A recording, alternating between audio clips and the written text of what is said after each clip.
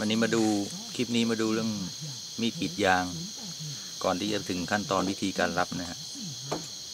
มีดกรีดยางเนี่ยวิธีการเลือกซื้อก็คือ ดูมีดกรีดยางที่น้ำหนักเหมาะมือเหมาะมือกับที่เราต้องการทั่วๆไปนะฮะก็ก็เลือกทั่วๆไป แต่ว่าวิธีการดูดูใบมีดกรีดยางที่เราจะใช้งานเนี่ยก็คือเฉพาะช่วงนี้โดยเฉพาะหนึ่งสิ่งแรกที่ต้องดูก็คือความความบางของใบมีด นะฮะลองเอามือจับดูรูปให้ตลอดนะฮะรูปให้ตลอด โดยเฉพาะตรงส่วนนี้ส่วนที่จะใช้งานตรงส่วนสันคองมีดต้องบางเนี่ยรูปดูมันจะบาง ยี่ห้อไหนบางๆ แล้วก็ซื้อยี่ห้อนั้นมาใช้นะส่วนมีดที่ผมทำเนี่ย ความบางของใบมีดก็จะประมาณไม่ไม่ถึงหนึ่งมิลลองวัดดูเนี่ยเออ มันจะหนาอยู่แค่ศูนย์ศูนย์จุดแปดประมาณศูนย์จุดแปด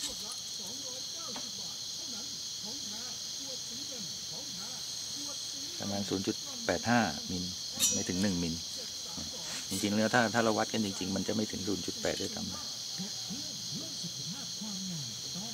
อ่าประมาณ0.8ประมาณ0.8มิลโดยทั่วๆไปนะเอ่อ จะมีบางยี่ห้อมีดบางยี่ห้อที่ก็ทำบางๆมาก ๆ ก็ประมาณ 1มิลความหนาปกติทั่วไปประมาณ 1มิลแต่นี่มีดผมแต่งแต่งเองเนี่ยมันจะบางมาก มีดกรีดยางยิ่งถ้าบางมาก มีความบางมาก ๆ เนี่ยเเวลารับคมแล้วเนี่ยการกรีดยางจะทำให้เราเไม่ต้องใช้แรงมาก ในการกระตุกมีดเพื่อเฉือนเปลือกยางออก เพราะลักษณะของลักษณะของใบมีด ลักษณะของของคมมีดที่ที่ไปกรีดยางเนี่ย เวลาเราลับเนี่ยด้านนอกมันจะเรียบ อันนี้เป็นด้านนอกมีดนะฮะ ด้านนอกมีดเนี่ยจะเรียบ ส่วนด้านด้านในมีดเนี่ย เราจะลับให้มันเป็น slope ลงมาหรือว่าเป็น taper เข้ามาแบบนี้ นี่คือส่วนหนาของเนื้อเหล็กนะฮะตรงนี้ ส่วนหนาของเนื้อเหล็กเรารับคมก็จะรับด้านในออกแบบนี้ ด้านนอกก็จะเรียบเสมอกัน เพราะฉะนั้นถ้าถ้าความหนาของใบมีดเนี่ย มันมีความหนามากๆเนี่ย ตรงนี้เนี่ยเวลากรีดเฉือนเปลือกยางออกไปแล้วเนี่ยกรีดเฉือนเปลือกยางไปเนี่ยต้องใช้แรงกระทำในการที่ที่คมมีดตรงนี้เนี่ยมาเฉือนเปลือกยางออกเนี่ยค่อนข้างมาก เพราะว่าตรงนี้ความหนาของมีดเนี่ยมันมันมันต้านแรงแรงที่เราจะไปใช้แรงที่เราจะไปเฉือนเปลือกยาง แต่ถ้าใบมีดที่ที่มันบางใช้มีดที่บางเนี่ย เราสามารถรับให้มันบางมาก ๆ แบบนี้ได้ปากกาไม่ติดซะอีกเพราะฉะนั้นเวลากรีดเฉือนเปลือกยางใบมีดที่บางกว่านะฮะเราจะใช้แรงน้อยกว่า มันมีแรงเสียดทานน้อยกว่าในการที่จะตัดเฉือนเปลือกยางออกสำหรับใบมีดที่บางๆอะนะฮะอันนี้แล้วก็ความรู้สึกของการกรีดเฉือนเปลือกเปลือกยางออกหรือว่ากรีดยางออกเนี่ย ความรู้สึกของของของเหล็กที่บางกว่าเนี่ย มันจะให้ความรู้สึกที่เบาแรง แล้วเรามีความรู้สึกเองว่ามีดเนี่ย มันจะคมคมกว่ามีดหนาๆแบบนี้ เพราะว่าเพราะว่าแรงที่เราใช้เนี่ยมันน้อยกว่าทำให้เรารู้สึกเหมือนกับว่ามีดเนี่ยคม แต่จริงๆแล้วความคมความแข็งของมีดอาจจะไม่แตกต่างกันมากนะนะมันแตกต่างที่ความรู้สึกในการกรีดยางมากกว่าทีนี้ก็มาดูวิธีการรับมีด วิธีการรับมีดเนี่ยไม่มีไว้บอร์ดก็ลบแบบนี้วิธีการรับมีดเราก็แบบเมื่อรูปเมื่อกี้อะติดก็แบบเมื่อกี้นะครับนี่ด้านนอก มันจะเรียบแบบนี้ด้านนอกของมีดด้านนอกของมีดก็คือคือด้านนี้นะฮะด้านเนี้ยด้านนอก ส่วนด้านในเนี่ย อันนี้เขียนให้หนาไว้เพื่อเขียนให้หนา เขียนให้ใหญ่เพื่อเห็นชัดเจนด้านในเนี่ยเราจะรับแบบนี้นะเราจะรับแบบนี้ ตรงส่วนนี้เนี่ย ส่วนที่มันเป็น slope หรือส่วนที่ที่มันเป็น taper เนี่ยภาษาช่างเขาเรียกที่เป็นเป็น taper เนี่ยพยายามลับให้มันลาดมาก ๆ ให้มันมีมุมเอียงตรงเนี้ยน้อยๆนะฮะยิ่งน้อยมากเท่าไหร่ยิ่งดี เพราะว่าถ้าเราลับให้มันมีมุมเอียงมากๆเนี่ยอย่างที่บอกเมื่อกี้ก็คือมันจะไปต้านแรงที่กระทำต่อการเฉือนเปลือกยางออก แล้วมันจะหนักมือ การกรีดเหมือนการกรีดยางแล้ว มีความรู้สึกเหมือนกับมีดไม่คมนะฮะดังนั้นการรับก็คือ ต้องรับมุมตรงนี้ให้เอียงมากๆ แบบนี้นะยิ่งเอียงมากยิ่งดี เนี่ยมุมมุมด้านในอะนะด้านในของด้านในของ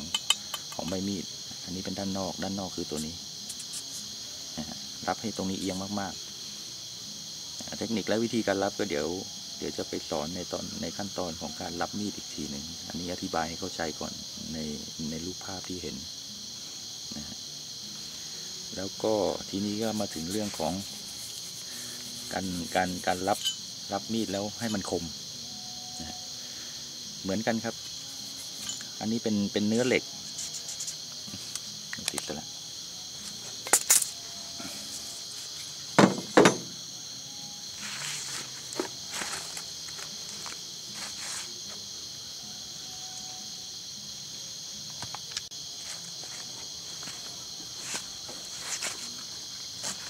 การรับมีดจะเหมือนกันตรงนี้ ตรงนี้จะเป็น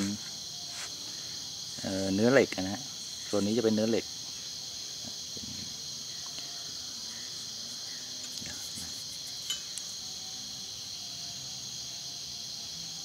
วิธีงอออก ส่วนนี้จะเป็นเนื้อของเหล็ก เนื้อของใบมีดนะ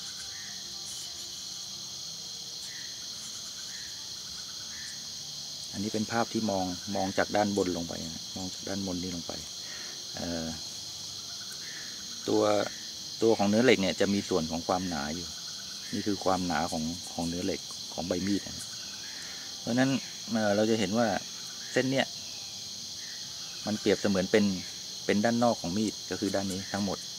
จะเป็นเส้นนี้เป็นด้านนอกของมีดนี้ทั้งหมด ส่วนเส้นนี้ ก็คือด้านในของมีดนี้ ด้านในของมีดตรงนี้นะฮะเปลี่ยนเส้นนี้เปรียบเสมือนด้านในของมีดตรงนี้เป็นด้านในของมีดถ้าเรามองจากจากมุมนี้ลงไปนะครับ จะเห็นความหนาของของของใบมีด เพราะนั้นเวลาเรารับเนี่ย เรารับให้มันเป็นเตเปอร์แบบเมื่อกี้ที่บอกก็คือเป็นเป็น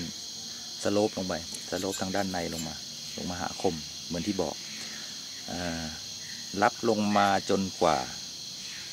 ทั้งสองเส้นเนี่ย ทั้งสองเส้นเนี่ย เป็นเส้นเดียวกันตลอดนะฮะการนี้ใช้ยากจัง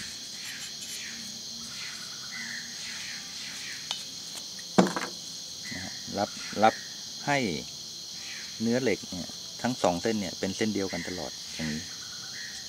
สองเส้นนี้รวมเป็นเส้นเดียว หมายถึงว่ารับจากด้านใน ด้านในก็คือเส้นนี้ ก็คือด้านในเนี่ย ลับให้มันเอียงออกมา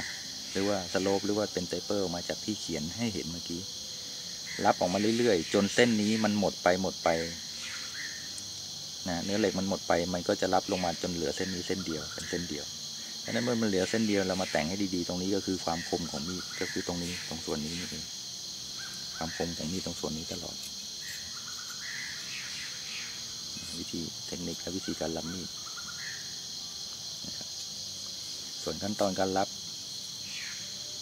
เดี๋ยวไปแนะนำในคลิปต่อไปจริง